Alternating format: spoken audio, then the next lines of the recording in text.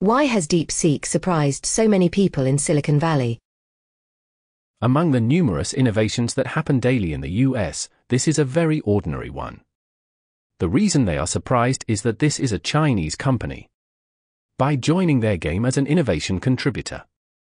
After all, most Chinese companies are accustomed to following rather than innovating. But in the Chinese context, this kind of choice is also overly luxurious. Large models are a capital-intensive game. Not all companies have the resources to focus solely on research and innovation without prioritizing commercialization first. The cost of innovation is certainly not low. The past inertia of adopting foreign ideas without innovation was also related to the national conditions of that time.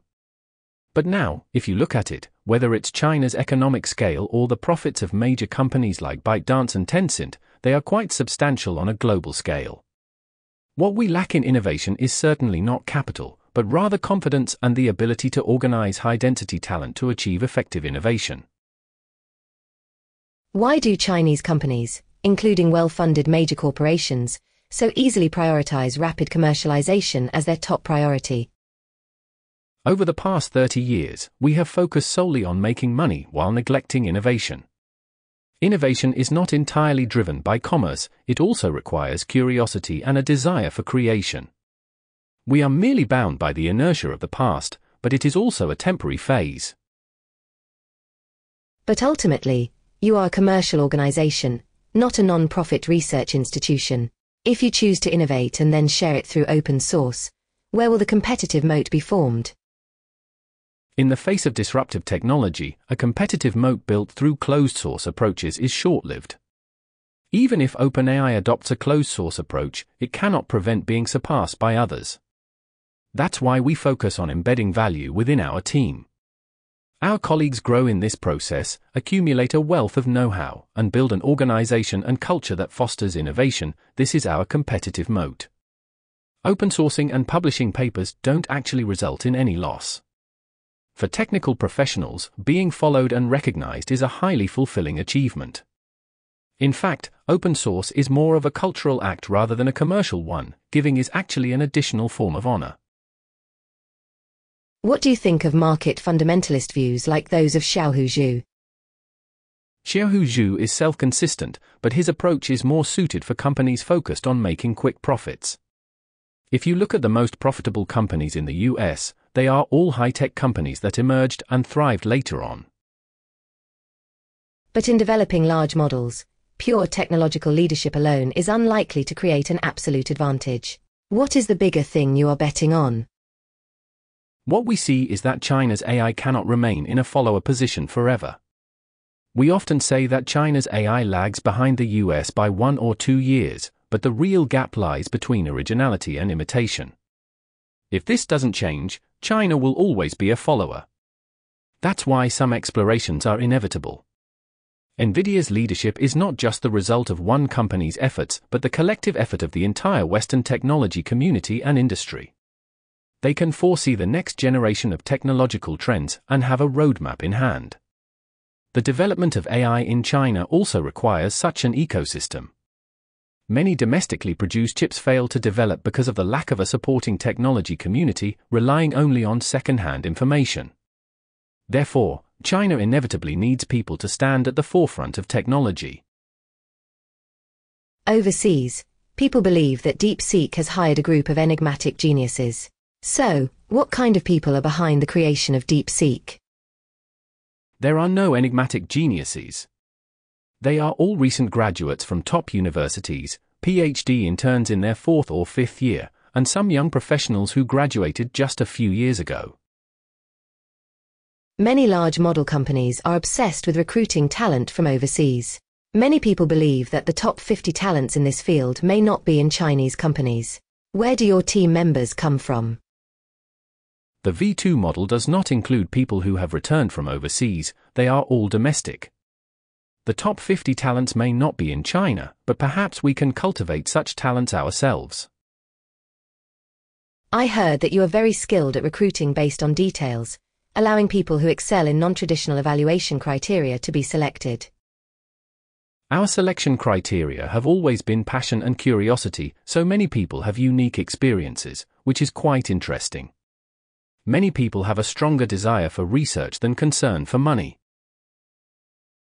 The emergence of this divergent sensitivity is closely related to the structure of your fully innovative organization.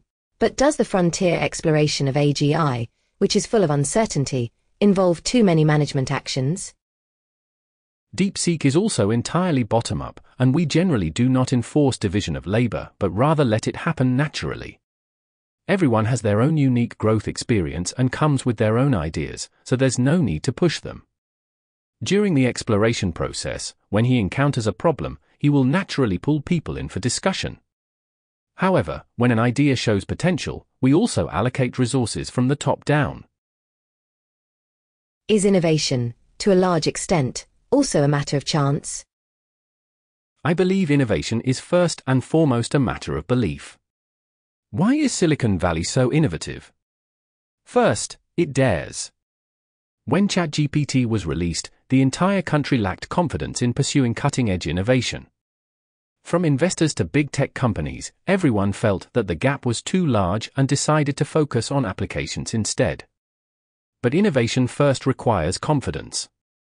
This confidence is usually more evident in young people. Most Chinese companies choose to focus on both models and applications. Why has DeepSeek currently chosen to focus solely on research and exploration?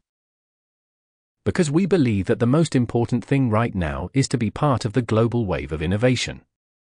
For many years, Chinese companies have been accustomed to others driving technological innovation while they focus on applying and monetizing it. But this is not something to be taken for granted. In this wave of innovation, our starting point is not to seize the opportunity to make a quick profit, but to advance to the forefront of technology and drive the development of the entire ecosystem. Now that the economy is entering a downturn and capital is in a cold cycle, will this further suppress original innovation? I don't necessarily think so the adjustment of China's industrial structure will rely more on hardcore technological innovation. When many people realize that making quick money in the past was likely due to luck in the era, they will be more willing to commit to genuine innovation. Can technology really create a significant gap? You've also said that there are no absolute technological secrets. Technology has no secrets, but replication requires time and cost. NVIDIA's graphics cards, in theory, have no technological secrets and are easy to replicate. But reorganizing a team and catching up with the next generation of technology takes time, so the actual competitive moat remains quite wide. The internet and mobile internet have left most people with a habitual perception that the US excels at technological innovation, while China is better at applications. We believe that as the economy grows, China should gradually become a contributor rather than merely a free rider. Over the past 30 years of the IT wave, we have hardly participated in true technological innovation. We have become accustomed to Moore's Law, where better hardware and software arrive effortlessly every 18 months. But in reality, this was tirelessly created over generations by Western led technology communities. We simply didn't participate in the process before, which led us to overlook its existence. You are also optimistic about domestic original innovation. I grew up in a fifth tier city in Guangdong in the 1980s. My father was a primary school teacher. In the 1990s, there were many opportunities to make money in Guangdong. At that time, quite a few parents came to my home, basically believing that studying was useless. But looking back now, the mindset has changed because making money is no longer easy.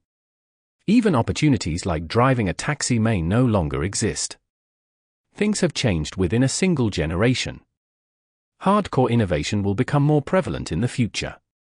It may not be widely understood now because society as a whole needs to undergo an educational process.